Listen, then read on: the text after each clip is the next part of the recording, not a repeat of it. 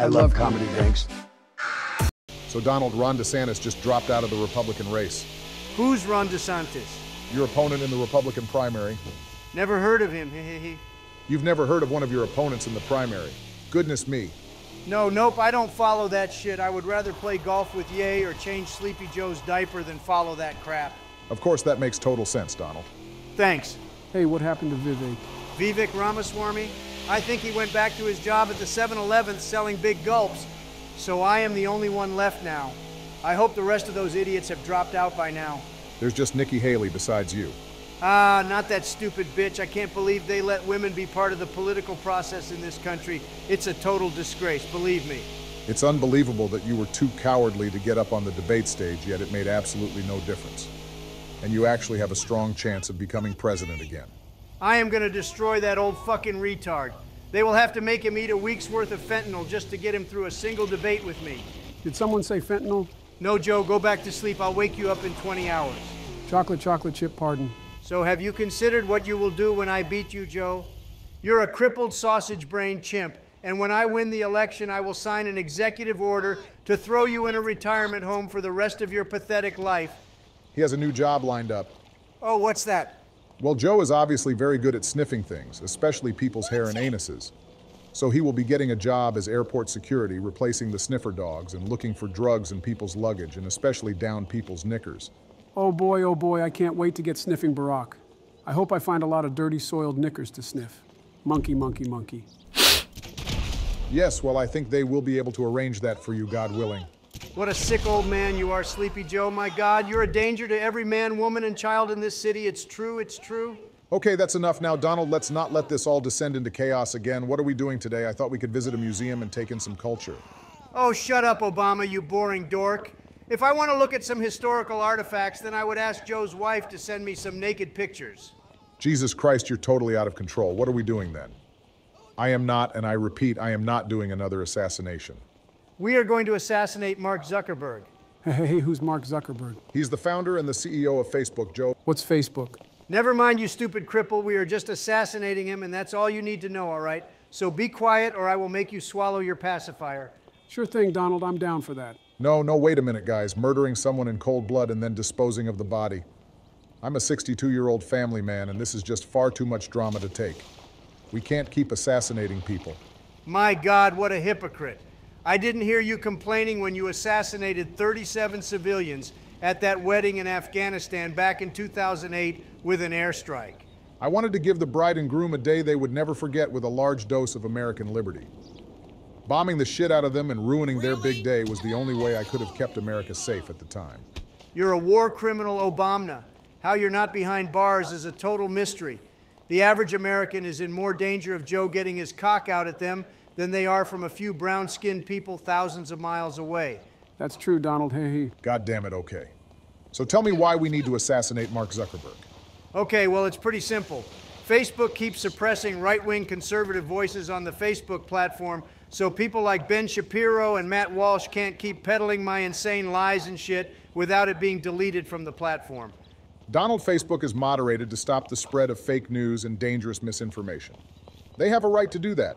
They don't have a right, it's my freedom of speech. This is turning into a communist country like Canada and England.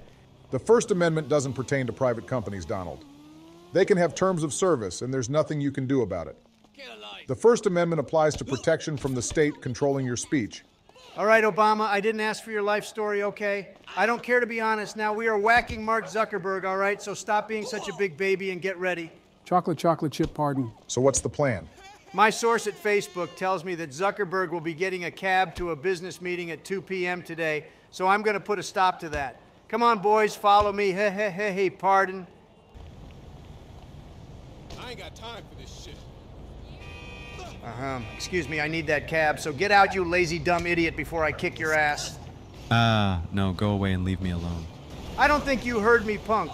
So why don't you fuck off back to whatever shithole country you are from before you lose your teeth, and I send Sleepy Joe round your kid's school with no clothes on?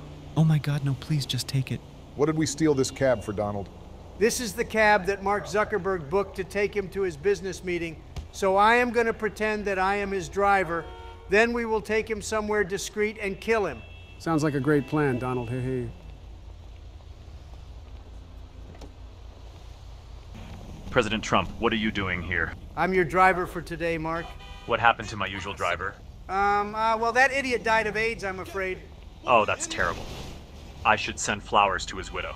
Yes, it is. That's what you get for injecting yourself with heroin from needles you find on the sidewalk, isn't it? Yes, I guess so.